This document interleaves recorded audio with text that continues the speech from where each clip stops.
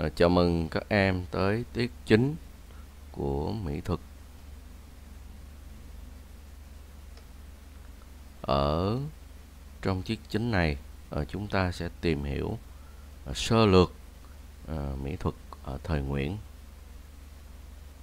từ năm 1802 đến năm 1945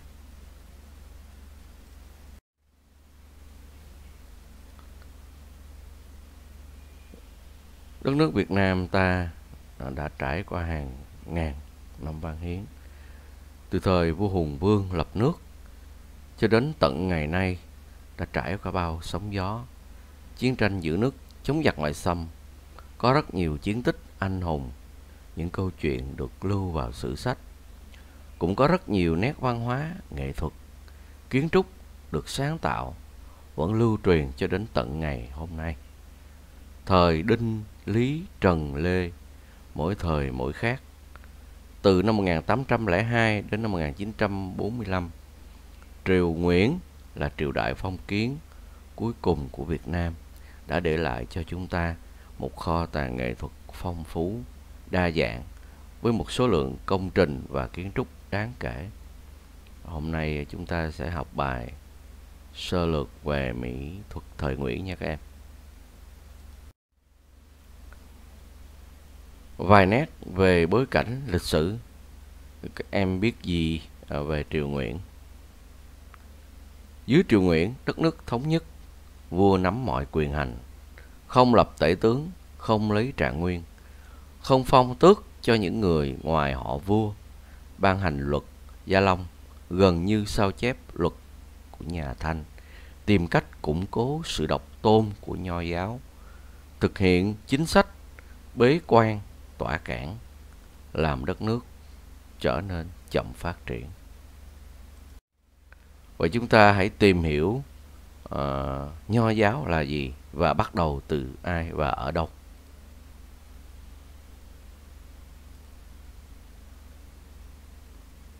Nho giáo còn được gọi là khổng giáo là một hệ thống triết lý do khổng tử phát triển một xã hội thịnh trị đến đời Hán Vũ Đế, Nho giáo được đưa lên làm quốc giáo, được dùng làm công cụ thống nhất đất nước về tư tưởng, trở thành hệ tư tưởng chính thống bảo vệ nền quân chủ Trung Hoa suốt 2.000 năm. Đặt ra tam cương, ngũ thường, tam tổng, tử đức. Tiếp tục ở cái phần bối cảnh lịch sử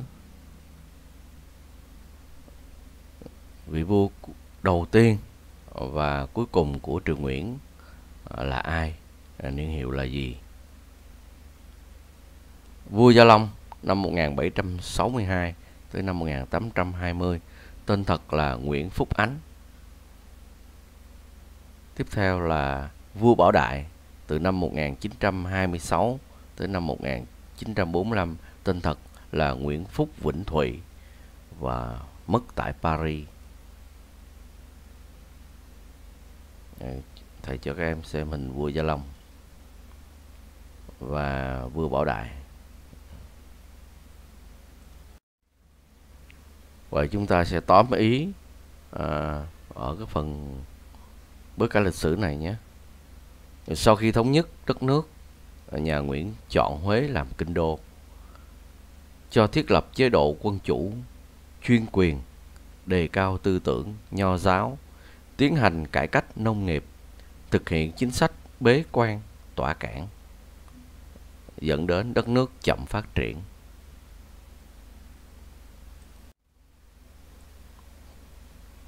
Và sau đây chúng ta sẽ tìm hiểu một số thành tựu về mỹ thuật. Ở đây thầy đề cập đến hai mảng lớn, đó là kiến trúc của kinh đô Huế và mảng thứ hai là điêu khắc, đồ họa và hội họa ở phần mảng 2 thì thầy lại chia thêm hai mục nhỏ A, điêu khắc, B, đồ họa và hội họa. Ở phần kiến trúc kinh đô Huế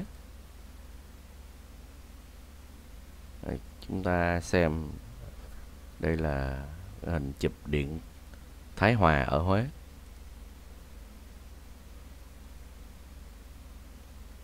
Và đây là kinh thành Huế về đêm này các em.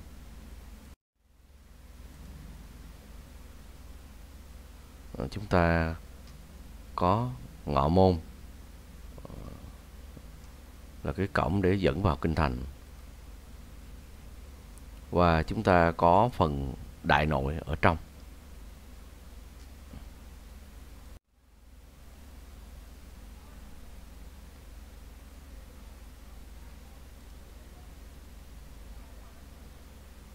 nhà Nguyễn dời kinh đô vào Huế và xây dựng kinh đô mới. Vì vậy, kiểu kiến trúc cung đình Huế là kiểu tiêu biểu cho kiến trúc đời Nguyễn. Kinh thành Huế nằm bên bờ sông Hương là một quần thể kiến trúc rộng lớn và đẹp nhất nước ta thời đó. Thành có 10 cửa chính để ra vào. Bên trên cửa thành có các vọng gác xây hình chim phượng. Nằm giữa kinh thành Huế là Hoàng Thành, cổng và Hoàng thành là ngọ môn. Tiếp đó là hồ Thái Dịch, cầu Trung Đạo, bắc qua hồ Thái Dịch dẫn đến Điện Thái Hòa, nguy nga tráng lệ, là nơi tổ chức các cuộc lễ lớn. Quanh Điện Thái Hòa là hệ thống cung điện dành riêng cho vua và hoàng tộc. Vậy chúng ta sẽ tóm lại à, cái ý chính ở cái phần kiến trúc của cung đình Huế ha. Đây là một quần thể kiến trúc có quy mô to lớn, có những lăng tẩm nổi tiếng như Gia Long, Minh Mạng, Tự Đức. Và chúng ta phải đưa cái yếu tố thiên nhiên và cảnh quan vào và được xem là yếu tố quan trọng. Đó là yếu tố phong thủy nha các em. Bên cạnh phòng thành, hoàng thành, tự cấm thành, đàn Nam Giao, Kinh đô Huế còn có những lăng tẩm nổi tiếng như lăng Gia Long, lăng Minh Mạng, lăng Tự Đức, cùng những công trình đặc sắc mang đậm văn hóa dân tộc. Đây là lăng Khải Định.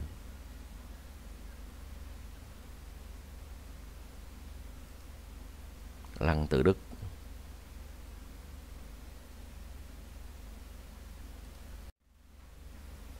và tiếp theo là lăng minh mạng. Và lăng gia long.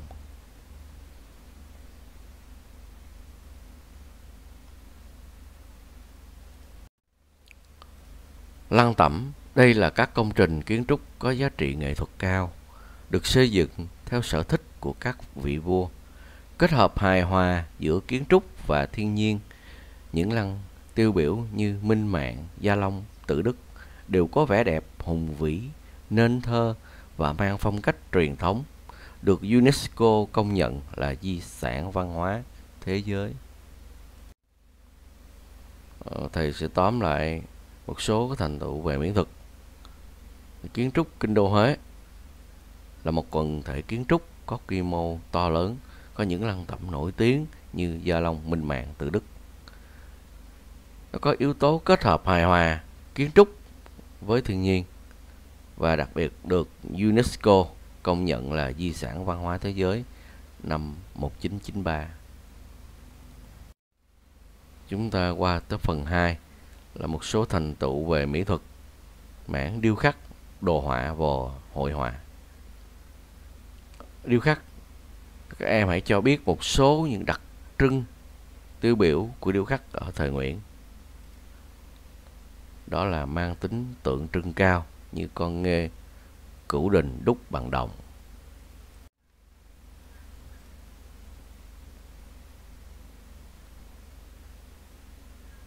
Những cái quần thể à, điêu khắc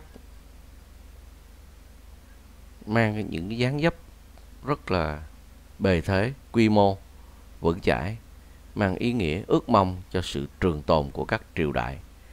Ngoài ra còn tượng của các con voi, ngựa bằng chất liệu đá hay xi măng.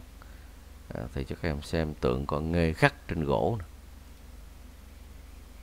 Ở đây là tượng voi và ngựa. Đây là tượng quan hầu ở lăng Khải Định. À, chúng ta có cái góc nhìn à, từ dưới lên trên ha cảnh xa và cảnh từ trên chiếu xuống. Một số thành tựu về mỹ thuật ở mảng điêu khắc, đồ họa và hội họa mang tính tượng trưng rất cao. Điêu khắc phật giáo phát triển và điêu khắc làng xã.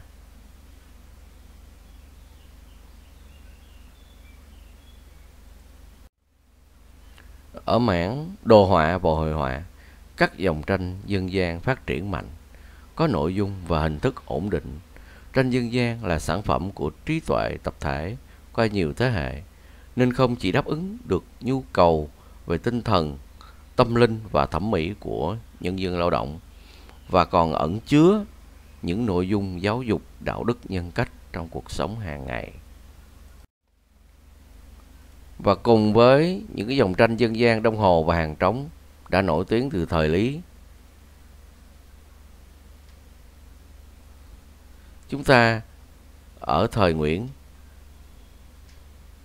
Còn cho ra đời thêm những dòng tranh kim hoàng, hoài đức, hà tây và tranh làng sình, phú mậu, huế.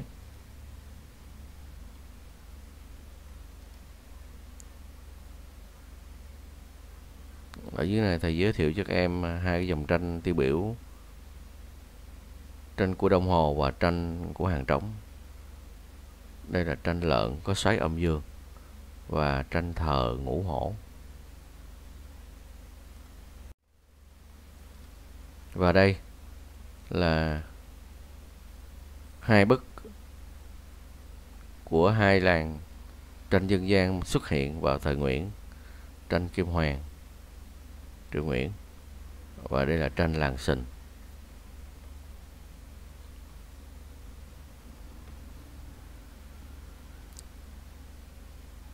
Ở tranh Kim Hoàng thì chúng ta thấy à, trên tranh có bức à, vẽ về chú gà trống. Và ở tranh làng sinh thì chúng ta thấy có à, Phật tổ được hầu bởi hai người là kim đồng ngọc nữ. Vậy chúng ta sẽ biết rằng đồ họa và hội họa ở thời Nguyễn thì xuất hiện các dòng tranh dân gian và các dòng tranh dân gian rất là phát triển. Thời Nguyễn còn có bộ tranh khắc đồ sộ, bách khoa, toàn thư văn hóa vật chất Việt Nam. Và ở cũng thời Nguyễn đã thành lập được trường mỹ thuật Đông Dương à, đầu tiên của xứ Đông Dương vào năm 1925. Tác phẩm hội họa tuy không còn lại bao nhiêu, nhưng một số tranh vẽ trên tường, trên kính, các công trình kiến trúc cho thấy hội họa nước ta ở thời Nguyễn đã có sự tiếp xúc mật thiết với hội họa châu Âu. Tranh khảm sành sứ trong lăng Khải Định và hình trang trí ở lăng Khải Định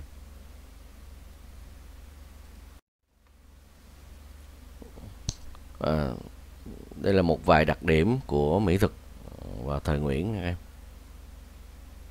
kiến trúc hài hòa với thiên nhiên luôn kết hợp giữa nghệ thuật trang trí có kết cấu tổng thể chặt chẽ về điêu khắc và hội họa đã phát triển đa dạng kế thừa truyền thống dân tộc và bước đầu tiếp thu nghệ thuật châu Âu.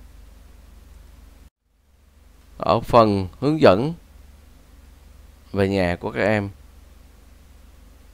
Các em sẽ xem lại bài và bắt tay chuẩn bị bài các công trình kiến trúc à, dân tộc ít người ở Việt Nam. Bài học của chúng ta đến đây là kết thúc. Rất hoan nghênh các em đã chịu khó lắng nghe bài giảng của thầy.